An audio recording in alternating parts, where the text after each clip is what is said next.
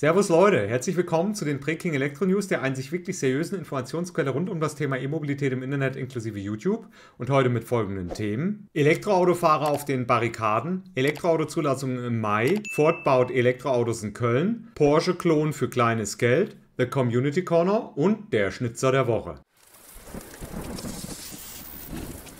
Die Nachrichten. Auf die erste Meldung von e-fahrer.chip.de haben mich zahlreiche Zuschauer hingewiesen. Dort titelt man E-Autofahrer auf den Barrikaden. Unterschriftenaktion gegen Ladepreischaos. Weiter heißt es, mit der Petition stoppen Sie den Preiswucher an öffentlicher Ladeinfrastruktur für Elektroautos will der YouTuber Michael Schmidt die Politik auf die unfaire Situation an den Ladesäulen aufmerksam machen. Und diese Petition ist gemeint, die wurde von uns initiiert, deshalb ist auch mein Gesicht da zu sehen. Es geht, wie gesagt, um den Kampf gegen den Ladetarif, Ladekarten-Dschungel an öffentlicher Ladeinfrastruktur. Aktuell haben wir rund 18.300 Stimmen zusammen, wir brauchen aber 50.000, da ist also noch ein gutes Stück zu gehen. Und wenn ihr auch der Meinung seid, dass da im Moment einiges schief läuft, würde ich mich freuen, wenn ihr die Petition, Link unten in der Videobeschreibung, unterschreibt und auch entsprechend teilt. Vielen Dank dafür. Ja, und die nächste Meldung von elektrif.net ist leider alles andere als positiv, denn die Elektroauto-Zulassungen in Deutschland erholen sich immer noch nicht. Die sind deutlich unter dem Niveau, was ich mir erhofft, was ich erwartet habe. Elektrif.net titelt 29.708 neue E-Autos im Mai. Die Elektroauto-Neuzulassungen in Deutschland waren auf Monatssicht konstant. Im Mai wurden 40 E-Autos mehr zugelassen als im April. Das ist also gar nichts. Den vierten Monat in Folge hat das KBA nun knapp 30.000 E-Autos registriert neue E-Autos auf den Straßen wohlgemerkt. Die Nachfrage hat sich laut Elektrof.net grob um die Marke von 30.000 Neuwagen im Monat eingependelt. Der Mai fügt sich nahtlos in die Reihe der Resultate von Februar, März und April ein. Ihr seht hier die Zahlen 27.000, 31.000, 29.000. Wenn man sich das Ganze schön reden will, kann man laut Elektrofunknet das ungefähr so formulieren, da die E-Auto-Neuzulassung mit einem Mini-Plus von 40 Fahrzeugen aufwarten können, der Gesamtmarkt aber im Mai um 4,3% rückläufig war, liegt der aktuelle E-Auto-Anteil mit 12,8% über dem Ergebnis aus dem April.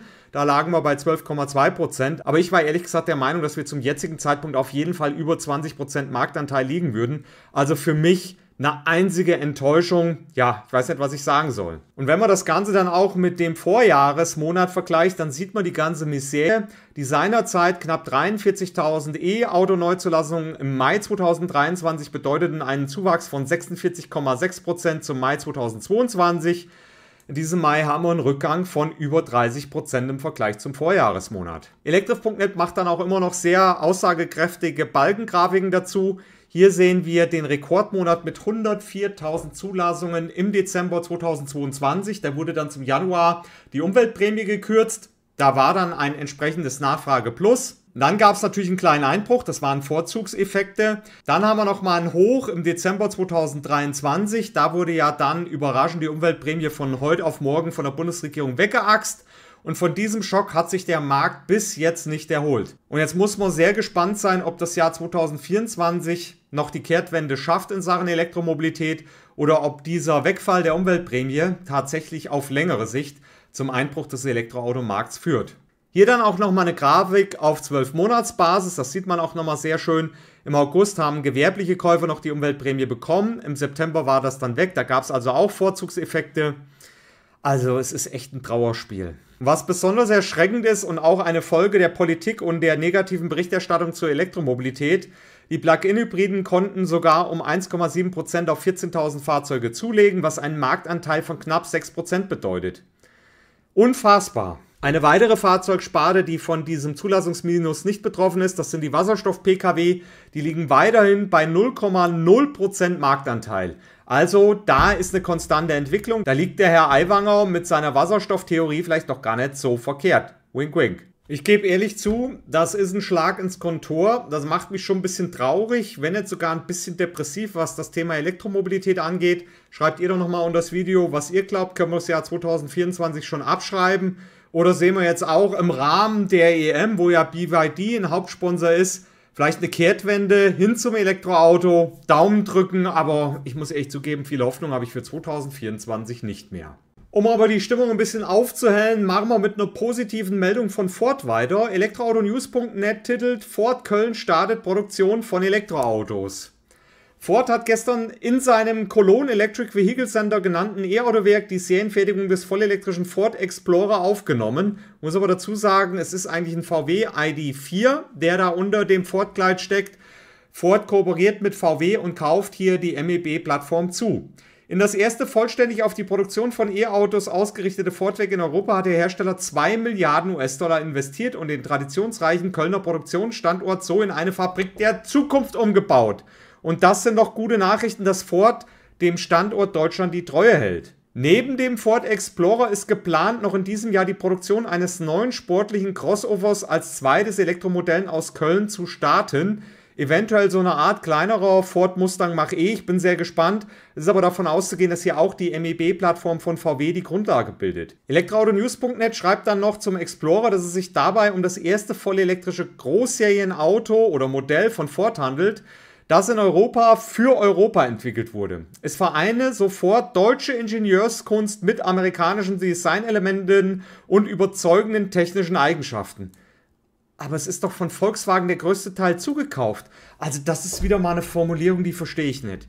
Die Lithium-Ionen-Batterie ermöglicht Reichweiten von mehr als 600 Kilometern zwischen zwei Ladestops. Dass wir jetzt mit dem ersten elektrischen Explorer den Auftakt zur Serienfertigung erleben, markiert den Beginn einer neuen Ära für Ford in Europa. Das sehe ich ganz genauso, aber ich hätte vielleicht ein bisschen vorsichtiger formuliert. Deutsche Ingenieurskunst mit amerikanischen Designelementen. Gut, wenn man hier geschrieben hätte VW-Ingenieurskunst, hätte ich es vielleicht noch verstanden. Aber korrigiert mich, falls ich hier was falsch verstehe. Ich finde es ein bisschen dick aufgetragen. Laut Internetseite von Ford beginnt der Spaß aktuell bei 48.510 Euro. Das Fahrzeug kommt mit dem neuen AP 550 Motor von VW daher. Wenn der genauso abgestimmt ist wie beim VW ID7, dann wird das sicherlich ein sehr spaßiges Auto, der Ford Explorer. Im Innenraum unterscheidet er sich auf jeden Fall erheblich von den VW-Modellen. Das muss man ganz klar sagen. Da hat Ford ein eigenes Design tatsächlich unterbringen können. Auch von außen hat Ford dem Explorer eine eigene Optik verpassen können. Ich sehe da keine Ähnlichkeiten zum ID4. Höchstens in der Seitenansicht ein bisschen. Ansonsten hat man das schon schön kaschiert, dass unter dem Blech VW-Technik steckt. Also auf jeden Fall ein Auto, was man in Erwägung ziehen sollte. Man muss aber auch ganz klar sagen, dass der Ford Explorer natürlich mit dem VW ID4 konkurriert und den gibt es aktuell mit der Aktion, die VW wohl befristet nur anbietet, wobei ich mir denken könnte, sobald wird die nicht gestrichen, weil die Nachfrage halt nicht so hoch ist. Den gibt es aktuell ab 45.065 Euro. Da haben wir also einen Aufpreis von rund 3.500 Euro. Da kann man also noch ein bisschen Ausstattung in den ID4 mit reinpacken. Der Ford Explorer wird aber vermutlich ausstattungsbereinigt ein bisschen günstiger sein. Also mehr Auswahl kann man ja nur begrüßen, ein bisschen mehr Individualität. Wem die Optik vom Ford Explorer besser gefällt, der hat jetzt die Auswahlmöglichkeiten. Und dass der Ford Explorer in Köln gebaut wird, kann man auch nur begrüßen und deshalb beide Daumen hoch für Ford. Beim Preis würde ich für die Zukunft vielleicht ein bisschen nachkorrigieren, denn ich glaube, 48.500 Euro sind in der aktuellen Marktsituation zu viel für den Ford Explorer. Was den Preis des Great Wall Motor Ora 07 in Deutschland betrifft, da bin ich mir nicht ganz sicher, ob das nur angemessen eingepreist ist oder zu teuer ist. Auf jeden Fall nennt elektrif.net einen Preis von 41.990 Euro für den jetzt bestellbaren Ora 07. Und hier haben wir dann auch mal zwei Ora 07. Und was das Design angeht, ich bin mir da irgendwie nicht ganz sicher. Teilweise meine ich da Porsche zu sehen, von hinten sieht das Ganze aus wie, ja, ich weiß, ist das Jaguar oder Mercedes oder so. Wir gucken uns das gleich an. Ich bin auf jeden Fall total verwirrt, was das Design angeht. Es ist für mich insgesamt irgendwie nicht stimmig, aber es ist nur mein Bauchgefühl und letzten Endes natürlich Geschmackssache. Was die technischen Daten angeht, schreibt elektrif.net, dass das Auto 4,87 Meter lang ist. Zu den Platzverhältnissen im Kofferraum oder den weiteren Abmessungen außen äußert sich Great Wall in der Mitteilung noch nicht stellt dafür aber die beiden Antriebsvarianten genauer vor. In der Basis gibt es einen 150 kW starken Frontantrieb, das ist schon mal keine gute Idee. Klar, beim Hyundai Kona Elektro habe ich das noch gefeiert, weil das ein wilder Geselle war. Ob das dann zu so einem Auto passt, ich weiß es nicht. Für Elektroautos in meinen Augen entweder Heckantrieb oder Allrad. Frontantrieb ist dann ab einer bestimmten Leistung nur noch ein Kompromiss. Dieser wird auf jeden Fall von einer 67 Kilowattstunden Batterie befeuert. Das ist die Bruttokapazität. Das Drehmoment wird mit 340 Newtonmeter angegeben. Die Reichweite soll bei 440 Kilometern nach WLTP liegen.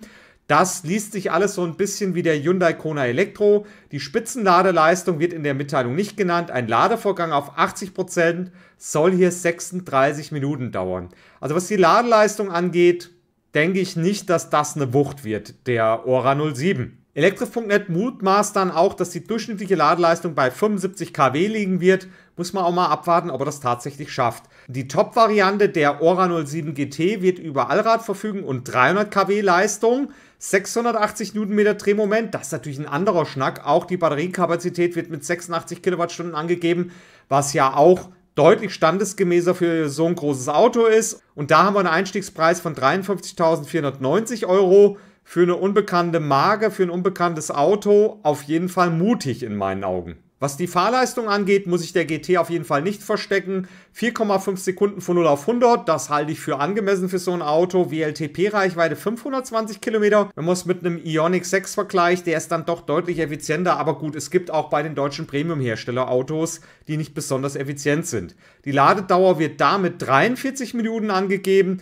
und da mutmaßt Elektrik.net ebenfalls einen Schnitt von 75 kW. Klar, ein ganzes Stück besser als bei meinem Hyundai Kona Elektro aus dem Jahr 2018. Aber wir sind jetzt im Jahr 2024 und da sind wir ganz andere Ladeleistungen schon gewohnt. Wir werfen auch noch mal einen ganz kurzen Blick in den Innenraum. Ja, und da kann man auf den ersten Blick jetzt erstmal nichts sagen. Wenn die Anmutung der Materialien gut ist und das Ganze gut verarbeitet ist, gibt es da sicherlich nichts zu meckern. Man versucht aber hier, glaube ich, auch höherwertigere Fahrzeuge im Design so ein bisschen ja, ich will nicht sagen nachzumachen, aber sich davon inspirieren zu lassen. Ihr seht das hier. Wir hatten auch schon mal in einem Livestream über diese Elemente hier, über diese Regler gesprochen. Ich meine, das wäre es irgendein Mercedes SLR oder irgend sowas. Für mich auf jeden Fall ein Mix von verschiedenen Designelementen von verschiedenen Herstellern. Vielleicht liege ich daneben. Ich kann nicht alles so richtig zuordnen so ein bisschen ein Störgefühl habe ich dabei. Aber wenn es gut verarbeitet ist, ne, wenn die Qualität passt, warum nicht? Was man im Zusammenhang mit Grand Wall Motor auch noch wissen sollte, äh, Wirtschaftswoche.de schreibt, der chinesische Automobilhersteller Great Wall Motor will im August seine Europazentrale in München schließen und etwa 100 Mitarbeiter entlassen.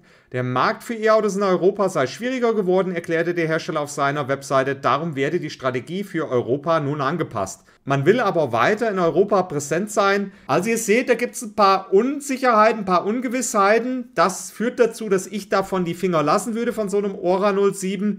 Wie seht ihr das? Denkt ihr, das ist ein guter Kauf im Moment zu dem Preis? Ich, wie gesagt, bin sehr, sehr skeptisch, was das Auto und auch was die Marke in Europa angeht.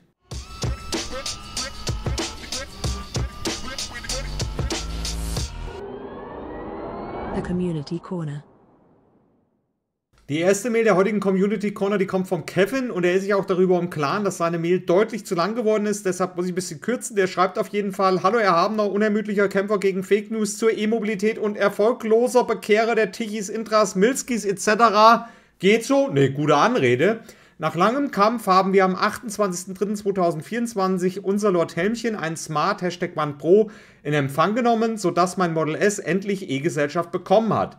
Der Leasingvertrag für den Vorgänger Fiat 500, das war noch ein Verbrenner, meiner Frau war bereits im Oktober 2023 ausgelaufen, sodass wir schon lange auf der Suche nach einem günstigen Leasingangebot für ein kleines E-Auto waren aber das passende lange nicht gefunden haben. Und dann war der Smart Hashtag One auf jeden Fall sehr willkommen. Ursprünglich sind der Kevin und seine Herzallerliebste mit Geld nicht zu bezahlende bessere Hälfte auch davon ausgegangen, dass sie die 4500 Euro Umweltprämie noch bekommen. Da kam aber dann dieses Wegachsten der Umweltprämie durch die Bundesregierung. Ihr wisst Bescheid. Auf jeden Fall schreibt er, ab Anfang Januar hatte ich Smart ALD dann vor die Wahl gestellt, den Vertrag bei vollständiger Erstattung der bereits im November gezahlten 4500 Euro fortzuführen oder den Kauf- und Leasingvertrag zu stornieren, wenngleich er sich im Klaren darüber war, dass er keinen Anspruch darauf hatte. Ich bin dann nochmal etwas lauter am Telefon geworden und habe auch der Ansprechpartnerin im Autohaus mein Leid geklagt, aber dann zähneknirschend einen Übergabetermin für den 28.03.2024 vereinbart.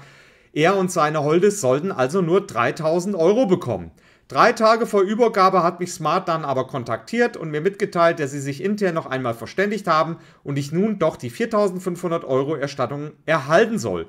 Noch warte ich darauf, aber ich bin guter Dinge. Also Daumen drücken, ich hoffe, es ist gut ausgegangen für den Kevin. Das Auto fährt sich ziemlich gut, wenn gleich die Rekuperation im Vergleich zum Tesla sehr unharmonisch wirkt und die App bzw. zumindest der Handyschlüssel ist eine Katastrophe. Man muss sich jedes Mal neu verbinden. Auch die Bedienung ist, wenn man bisher nur Tesla gewohnt war, ziemlich umständlich. Aber insgesamt gerade für diesen Preis wirklich ein gutes und empfehlenswertes Fahrzeug. Also ihr seht, hier ist jemand von Tesla verwöhnt. Ich kann versichern, dass die Motorhaube Frank ebenfalls aufgehen. Leider geht sie aber nur mit roher Gewalt wieder zu. Deshalb habe ich auf ein Öffnen verzichtet. Wer es glaubt. Auf jeden Fall schreibt er noch viele Grüße und macht weiter so. Kevin, viel zu lang, da muss ich kürzen. So sieht's aus. Hier haben wir dann aber das neue Schätzchen vom Kevin bzw. seiner besseren Hälfte. Ein Smart Hashtag One in einem, was ist das, Mintgrün? Ihr werdet es mir unter das Video schreiben. Hier haben wir dann auch mal von der Seite, da sieht man sehr schön, warum ich das Auto Lord Helmchen nenne. Hier das aufgesetzte Dach wirkt so ein bisschen auf mich. Von hinten ist dann eindeutig der Einfluss von Mercedes zu sehen. Also die Leuchteinheit erinnert mich schon ein bisschen an Mercedes-Benz. Dann hat er Kevin noch hier dieses Foto mit geöffneten Klappen mitgeschickt. Also mindestens 90% gehen auf. Das ist ja schon mal was. Daumen hoch dafür. Und lieber Kevin, ich kann euch nur zu diesem tollen Elektroauto von Herzen gratulieren. Und ich wünsche euch mit dem Smart Hashtag One, mit dem Lord Helmchen, allzeit knitterfreie Fahrt. Die nächste Mail, die kommt vom Albert aus Österreich und er hat lange auf sein Elektroauto warten müssen. Jetzt ist es endlich da und ich darf es vorstellen. Der schreibt, lieber Herzog der Güte des Elektroantriebs, es ist mir eine Ehre, die Meldung der Lieferung und Zulassung meines Elektromobils zu verkünden. Auf Wienerisch Strommichel, Odia, die Elektrokratzen ist da, kannst die Kratzen endlich vorn. Ein Hoppala hatte zu einem A38 Passierscheinmoment geführt, aus Asterix und Obelix wie das bekannt sein. Auf jeden Fall hat er dann nach drei Wochen die Zulassung gehabt. Er hat nach Förderung 25.500 Euro bezahlt. Das ist natürlich gar nichts. Die Farbe würden manche als Grundierung bezeichnen. Der Hersteller nennt es Platinum Grey. Ich kann nur sagen, wunderschöne Farbe. Was die Öffnungsmöglichkeiten der Türen, Fenster und Klappen angeht, ist der Albert aufgrund des Preises nicht ganz so anspruchsvoll. Er kann auf jeden Fall Sonnenstrom von seiner PV-Anlage laden, die 9,2 kWp Leistung hat. Liebe Grüße aus Wien vom Albert, der mir auch noch ein weiteres Schnitzel ausgeben will. Vielen Dank dafür, Albert. Und dann schauen wir uns dein Corando mal an. Hier haben wir zunächst erstmal die PV-Anlage, da hat er auch ein Bild mitgeschickt. Da oben seht ihr die, die ist frisch montiert, glaube ich sogar. Dann hier mal so eine Kurve. In lila seht ihr den Wattpiloten. Ne? Da hat er also den Corando geladen. Dann haben wir hier ein Foto, wo man das auch nochmal sehen kann. Er lädt also mit 3,8 kW. Der Corando kann, glaube ich, nur einphasig laden, wenn mich nicht alles täuscht. Also hält er sich auch an die Schieflastverordnung, die zumindest in Deutschland gilt. Und hier haben wir dann auch endlich seinen Corando E in der wunderschönen Graumetallic-Farbe. Ich weiß nicht, was er hat, sieht doch gut aus. Und das Ganze nochmal von vorne. Da seht ihr das Emotion. Der Ladeport ist wie beim e-tron am Kotflügel. Ja, ist sicherlich jetzt nicht der ganz modernste Look. Ne? Ich glaube, das Auto wird schon ein bisschen länger, so oder so ähnlich gebaut von Sangyong. Aber es ist ein absolutes Schnäppchen und erfüllt die Mobilitätserwartungen vom Albert. Von mir gibt es einen Daumen hoch dafür, für diesen tollen Schnapper und ich wünsche euch mit dem Corando allzeit knitterfreie Fahrt. Die letzte Mail der heutigen Community Corner, die kommt vom Jürgen, der schreibt, Hallo Herr Habener, Forderer des echten Ladeerlebnisses und Verfechter der E-Mobilität, richtige Anrede. Als erstes mit dem Thema Ladezirkus bin ich voll und ganz bei dir, so kann es nicht weitergehen. Vielen Dank für die Unterstützung. Zum eigentlichen Thema. Anbei einige Fotos von unserem Zweitwagen, der eigentlich unser erst E-Auto ist, war. Der Twingo wird jetzt genau drei Jahre und wird auch neben unserem Cupra Born, den du ja schon vorgestellt hast, bei uns bleiben für die Fahrten hier in der Gegend das ideale Auto. Wir haben die Rückbank dauerhaft umgeklappt und dadurch einen großen ebenen Laderaum. Einfach super. Leider hat er auf den Fotos noch die Winterräder drauf und nicht die viel schöneren Sommerräder. Mit Blütenstaub ist er auch noch dekoriert. Gruß aus Thüringen Jürgen. Und hier hat er erstmal ein Foto von den wunderschönen Sommerfelgen mitgeschickt, damit ihr das auch mal gesehen habt. Da ist das Auto unter dem Carport-Dach. Hier auch standesgemäß eine Lademöglichkeit. Hat er auch schön verlegt. Ach, guck mal. Da hinten ist auch noch ein zweiter Typ 2 Stecker. Also scheinbar kann man hier von zwei Seiten ausladen. Sieht zumindest auf den ersten Blick so aus. Ja, wird so sein. Dann haben wir hier den Twingo nochmal von der Seite. Wie gesagt, das ist jetzt ein großer Kombi in Zweisitzer, weil hinten alles umgelegt ist. Das Auto nochmal von hinten mit Blütenstaub. Ich bin mir nicht sicher. Ist das jetzt hier... Ich kann es nicht sagen, Leute. Ich weiß nicht, wie das, weil da hinten der Anschluss sieht anders aus. Aber okay, das werden wir nicht komplett auflösen. Ich finde übrigens die Winterfelgen auch nicht schlecht. Das ist doch ein richtig schnuckeliges kleines Auto. Ich beglückwünsche euch auch zu diesem Flitzer neben dem Cupra Born und wünsche euch mit dem tollen Auto allzeit kinderfreie Fahrt. Und hier nochmal der Aufruf an alle, wenn ihr ein Elektroauto fahrt, was noch nicht in den Breaking Electro News vorgestellt wurde, schickt mir ein, zwei Zahlen, nicht zu lang und ein paar Fotos, damit wir das hier entsprechend präsentieren können. Vielen Dank dafür. Der Schnitzer der Woche. Der heutige Schnitzer der Woche passt zum Thema Petition, Ladewoche, Ladetarif-Dschungel. Denn ENBW hat ja jetzt auch neue Tarife bekannt gegeben und man blickt gar nicht mehr durch, was man wo bezahlen muss. Der Dirk hat dann auch bei unserem Discord geschrieben, heute tritt die Umlage der Roamingkosten der ENBW in Kraft. Kurz, Roaming ist finanziell Geschichte. Aral Puls 79 Cent, E.ON 79 Cent, Shell habe ich für 89 Cent gesehen, meine AC-Säule vor Ort 69 Cent, das sind dann nur noch Notfälle, also von nun an zu Ionity, Tesla oder ENBW-Stationen springen und gut planen. Gut planen ist super wichtig, lieber Dirk. Ne? Einfach irgendwo hinfahren, das geht nicht, weil dann kann es sein, dass man total abgezockt wird. Auf der Seite von ENBW sieht man dann hier auch diese neuen Tarife. Andere Betreiber ab 59 Cent bis maximal 89 Cent. Und ihr müsst euch im Klaren sein, wenn ihr nur den Ladetarif S ohne Abogebühren nehmt, dann habt ihr keine Fotos der ENBW-Ladestandorte zur besseren Orientierung zur Verfügung. Ne? Das ist auch noch was, was man im Hinterkopf behalten muss. Und ihr seht, wenn man 17,99 Euro im Monat bezahlt, dann zahlt man an ENBW-Ladesäulen 39 Cent je Kilowattstunde. Das ist also auch ja, so eine Art Geiselnahme des Elektroautofahrers, dass er auf jeden Fall nur an ENBW-Ladesäulen lädt, egal ob das zur Route passt oder nicht. Und als kleinen Service hat der Helmut mal zusammengeschrieben, was das alles bedeutet. Angaben ohne Gewehr, wie gesagt, ist hier vom Helmut. Der schreibt, hallo erhabener Kämpfer im Roaming-Dschungel, richtige Anrede. Seit Mitternacht sind die neuen ENBW Roamingpreise aktiv. Es wird sehr unübersichtlich. Hier eine Auswahl. Allego Hypercharger Frankfurt kostet jetzt 79 Cent. ENBW Vorteilstarif, aber ich nehme an, das ist egal. Aral Puls nahe Schlangenbad kostet auch 79 Cent Kilowattstunde. E.ON A5 79 Cent die Kilowattstunde. Ionity A5 74 Cent die Kilowattstunde. Plötzlich schon fast ein Billiganbieter. Fastnet A3 74 Cent je Kilowattstunde. Virta Fragezeichen Hund zurück 89 Cent je Kilowattstunde. Aktueller Rekord. Mehr Simon Simon 79 Cent die Kilowattstunde, EWE Go Simon 69 Cent die Kilowattstunde, gestern noch Hochpreisanbieter, heute einer der billigsten. Mennekes AC-Säule in Simon 59 Cent die Kilowattstunde, jetzt ist AC also billiger als DC. The New Motion Hösbach 74 Cent die Kilowattstunde, Compleo Hösbach 89 Cent die Kilowattstunde, Pfalzwege Hösbach 84 Cent die Kilowattstunde. Kaufland 50 kW La 59 Cent die Kilowattstunde, Aldi La 89 Cent je Kilowattstunde. Da kann man nur hoffen, dass das Ad-Hoc-Laden für 39 Cent je Kilowattstunde klappt. Das ist also wie gesagt 50 Cent je Kilowattstunde günstiger mit der EC-Karte oder Kreditkarte zu zahlen. Schon merkwürdig, so wird EVGO vom Hochpreisanbieter zu einem der günstigsten. Auch Ionity wird billiger bei ENWW, aber viele andere deutlich teurer. Aldi kostet wie schon erwähnt 50 Cent mehr als Ad-Hoc-Laden. Viele Grüße Helmut. Helmut, Vielen Dank für diese tolle Übersicht der sehr durchsichtigen Ladetarife im Roaming von ENBW. Und für mich ist dieser ganze Zinnober, dieser ganze Zirkus, diese ganze Katastrophe, diese Bankrotterklärung für die deutsche und europäische Ladeinfrastruktur auf jeden Fall Der Schnitzer der Woche.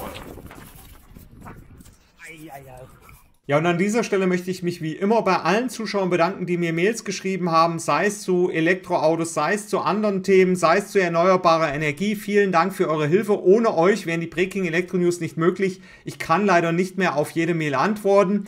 Aber ansonsten soll es das für diese leicht rentlastige Ben-Ausgabe gewesen sein. Wenn ihr Fragen habt, Anregungen oder Kritik, wie immer unten gerne in die Kommentare. Wenn es euch gefallen hat, lasst einen Daumen hoch da und ein Abo ist wohl obligatorisch, sonst verpasst ihr das nächste Video.